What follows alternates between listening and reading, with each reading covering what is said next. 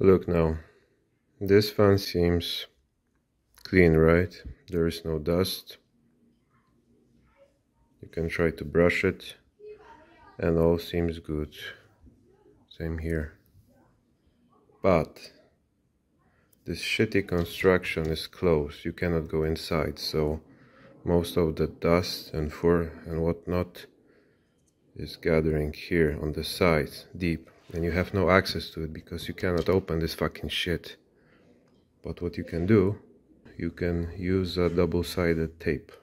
Put it on some paper. Put it inside and then dust will come. Because it's sticky right? So I put it here on the edge.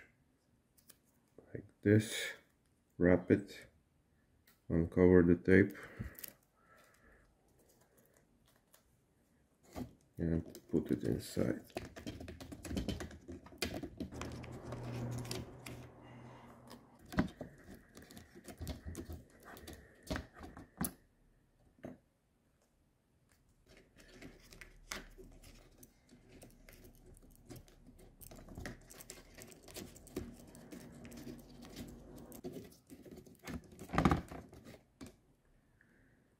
See, some cat fur.